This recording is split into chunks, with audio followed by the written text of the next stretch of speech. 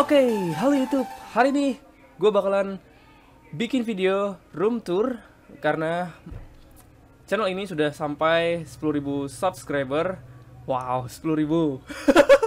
Banyak banget 10.000. Jadi em, videonya gue record di siang hari. Jadi ini intronya gue buat di malam hari karena nggak sempat bikin intro tadi. Jadi recordnya siang biar kelihatan semuanya lah yang ada di uh, room room gue sekarang. So, yeah, enjoy the room tour and let's go. Let's go. Oke, teman-teman. Jadi uh, this is my room. Um, di sini kasur, biasa gue tempat tidur. Kemudian ya sebelum ke sana kita um, tur di sekelilingnya aja dulu ya ada lemari kemudian ada kipas angin ada cermin cermin doang itu ada jendela. Ya nggak penting ya. Uh, di atas sana ya kayak gitulah. Ada tempat apa barang-barang nggak jelas.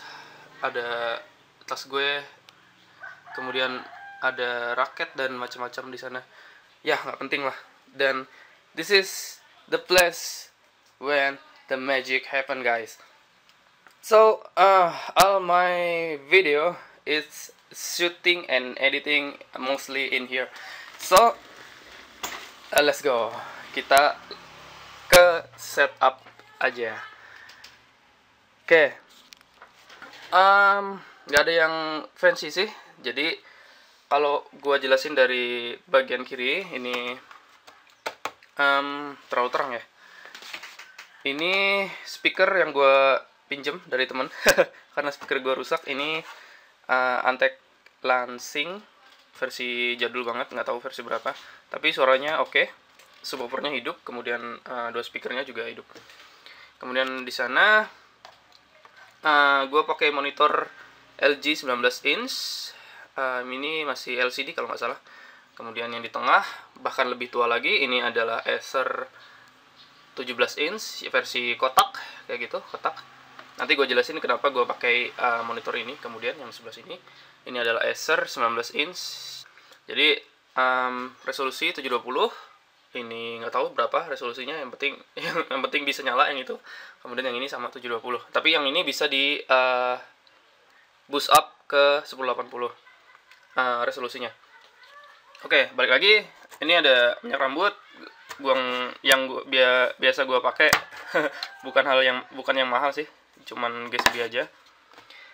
Uh, jam tangan yang biasa gue pakai ada remote remote itu kipas angin.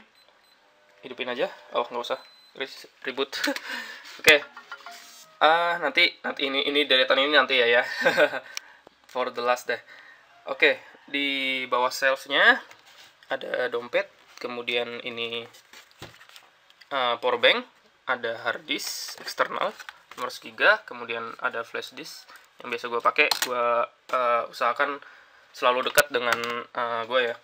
Kemudian ini loop Rubik dan yang ini uh, ini kotak gue kotak magic. Jadi gue di sini jualan so gue tunjukin ya. Jadi jualan voucher wifi menggunakan mikrotik jadi ini adalah vouchernya. Kalau yang kalian mau datang ke rumah gue dan mau pakai wifi bisa um, beli voucher. Ini yang dua jam ini yang 5 jam.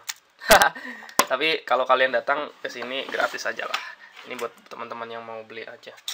Kemudian um, di sana ini tripod tripod dan atasnya ada sok eh apa sih namanya ada mount buat handphone ya itu. Oke kemudian itu yang paling pojok sana hitam itu USB 3 hub USB 3 hub. Jadi kalau recording biasanya pakai tripod ini ditaruh di tengah sini. Kayak gitu. Kemudian yang ini apa yo? Apa yo? Coba. Ini ini C wireless charging buat ngecas HP secara wireless. Um, HP Nokia jadul nggak tahu seri berapa? X1 kalau nggak salah buat nelpon doang yang ini uh, main handheld gue. Ini Asus Padfone Padfone S. Ya yang biasa record record video juga yang ini. Kalau video yang dipegang ini kamera digital punya bokap. Oke ke sini. Ini digital alien mecha. Ada gua review juga di channel ini. Yang ini blue switch jadi agak keras suaranya ya ya itu kemudian yang ini Logitech G502 mouse buat uh, editing gaming enak semua. Yang ini di atas eh di lap apa di bawahnya ini Razer Goliathus Extended Mousepad tapi yang nggak ori yang ini. Jadi yang ini cuman replikanya. Gue beli berapa lah dulu. Um, kalau yang sebenarnya mungkin dia lebih panjang tapi ini gue beli dari luar negeri kalau nggak salah. Ini replikanya. Uh, lebih murah jauh banget. Lebih murah jauh. Oke. Okay. uh, terus apa lagi ya? Udah dari kanan ke kiri. Oh ya ini satu lagi. Ini main recording audio buat recording audio. Ini Bringer C1U atau yang buat yang dia fiturnya USB kemudian ada shock mount ada pop filter dan armnya. Kemudian untuk webcam biasanya gue pakai action cam ini SJ 4000 kalau nggak salah yang ini. Jadi langsung connect ke komputer buat jadiin webcam dia oke. Okay. dan ada lensa fisheye nya jadi dia lebih uh, lebih wide lah menangkapnya. Oke okay, udah sebagian udah ya. Lanjut kita ke um, deretan Rubik yang biasa gue pakai dan ini adalah koleksi hampir semua koleksi dan hampir semua koleksi Rubik gue. Mulai dari kiri ini The Old Dayan Zenchi kemudian yang ini Moyu Hualong Stickerless yang udah gue modif menjadi carbon fiber cube.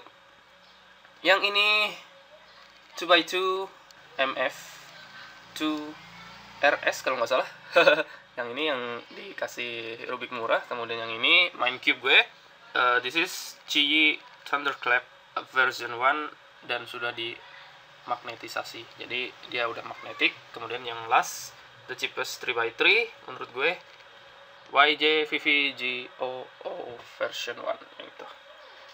Oke, kemudian um, kita ke uh, main system ya. Kita bakalan bakalan bakalan hidupin uh, sistem kita.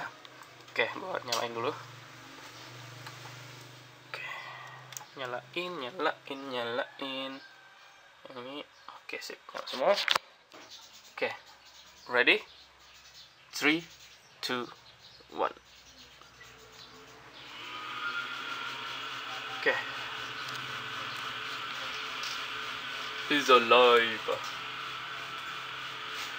Suaranya nyaring banget ya. Kalian bisa dengar ya, PC gue ya.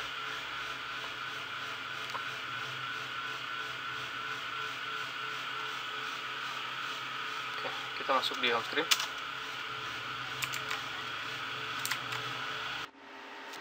Oke guys, udah nyala nih. Jadi uh, ini adalah setup gue dan ini adalah triple monitor setup yang biasa gue pakai.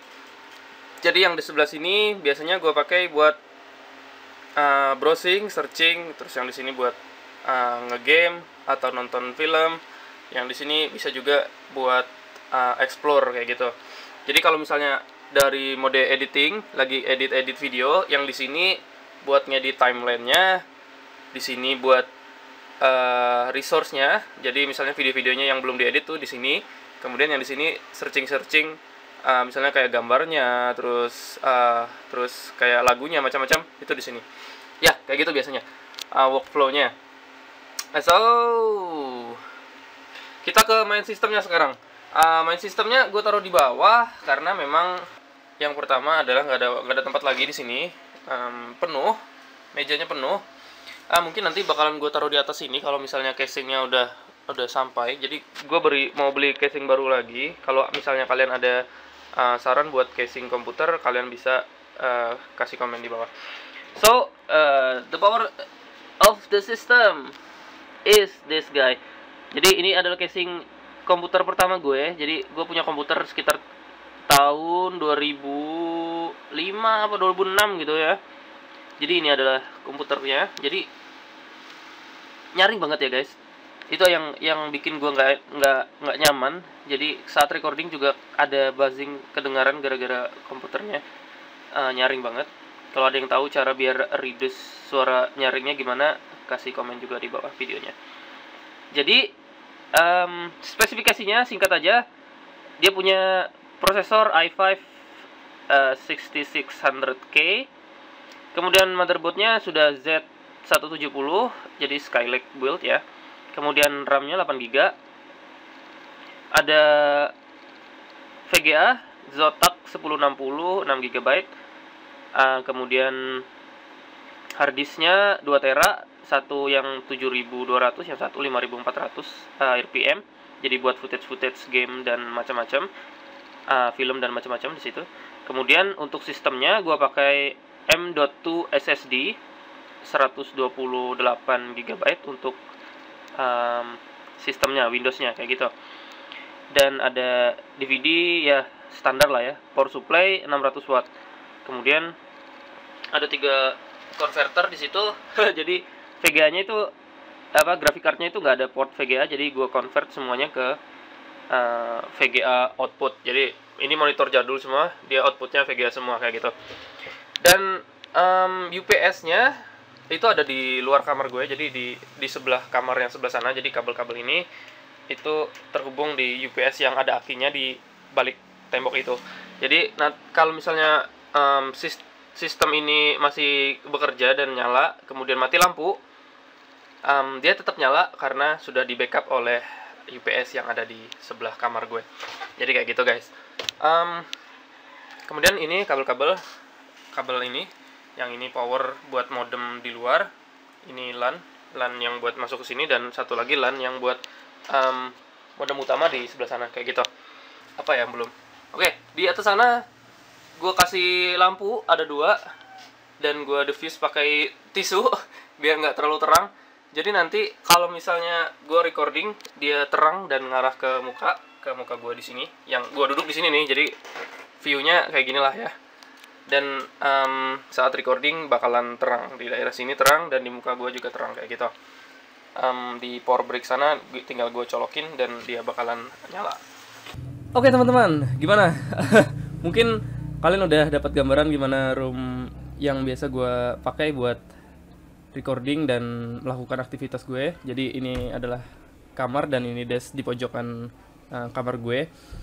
Ya memang um, sederhana dan simple bukan untuk show off hanya menunjukkan saja uh, bagaimana sih workflow yang gue uh, lakukan. Kalau misalnya lagi bikin video atau lagi melakukan sesuatu yang memang um, gue sukai di depan setup gue kayak gitu. Jadi um, ada bungkusan nih dari Rubik murah.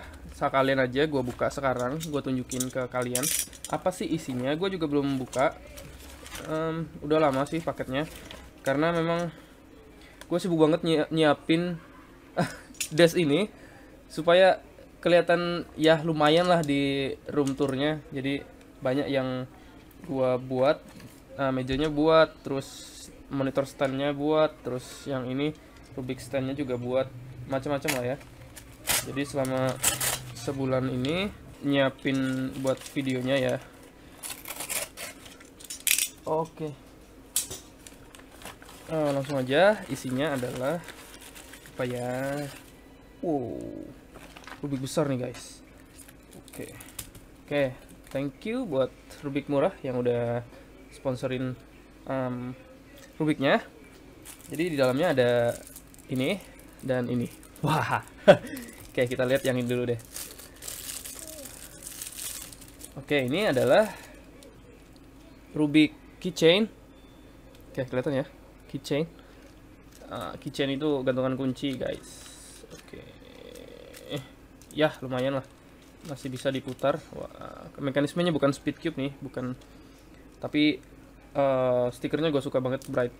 Jadi kelihatan banget kalau digantung kunci kayak gitu. Jadi masih bisa di solve solve ya ini yang pertama. Rubik keychain. Oke nih the main cube. Besar banget nih dapatnya ini kayaknya 5 kali 5 dari MF series. Oke kita buka aja. Oke mantap. Kita dapat ini kartunya dan rubiknya. Wow besar sekali. Berat om. Oke kita coba first turn.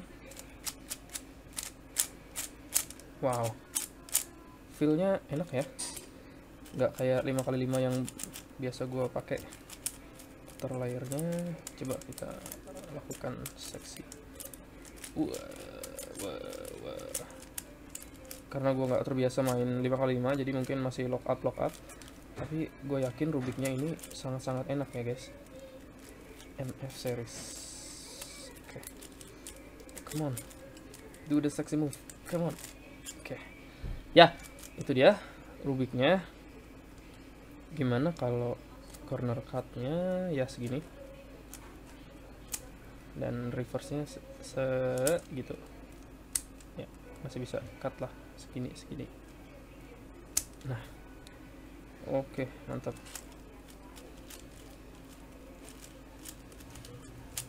Oke sip. Um, feelnya enak cuman karena memang gua belum terbiasa solve Rubik 5 kali 5 jadi mungkin banyak lock off-nya jadi belum tahu finger trick yang misalnya enak buat uh, solve-nya tapi Rubik ini Rubik yang luar biasa dan memang sudah speed cube dan dibuat memang buat teman-teman yang um, interest di 5x5 dan speed speed cube 5x5 dan Rubik ini bakalan gua giveaway untuk merayakan 10.000 subscriber channel ini. Jadi uh, yang harus kalian lakukan gampang cuman subscribe dan komen kenapa kalian mau Rubik ini dah itu dong kalau misalnya mau follow sosial media silahkan itu adalah nilai plus buat kalian jadi nanti gua umumin mungkin 10 hari ke depan untuk uh, the winner of the MF5 giveaway. Oke. Okay. Ya. Itu tadi room tour dan giveaway yang gua adain untuk merayakan 10.000 subscriber channel ini. Uh, thank you guys, thank you very much. Thank you, thank you, thank you. Untuk segala macam support, segala macam kritik saran yang sudah kalian kasih uh, ke gue dan channel ini. Aduh gue nggak tahu gue nggak tahu harus ngomong apa.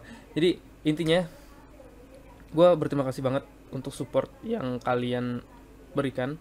Dan terus support channel ini supaya terus berkembang dan terus memberikan konten yang terbaik buat kalian semua. Kayak gitu ya. Silahkan ikut giveaway-nya. Tag teman kalian juga buat ikut giveaway-nya supaya rame giveaway-nya. Kalau misalnya video ini dapat 500 like aja deh. Bakalan gue adain next giveaway secepatnya soon setelah giveaway ini di sosial media Instagram gue. Jadi nanti gue kontak Rubik Murah supaya ngad apa sponsorin video giveaway selanjutnya kayak gitu jadi sama-sama untuk merayakan 10.000 um, subscriber channel ini oke gitu dulu untuk perayaan 10k subscriber channel ini thank you very much yang udah nonton dan sampai jumpa di pertemuan kita berikutnya. Bye.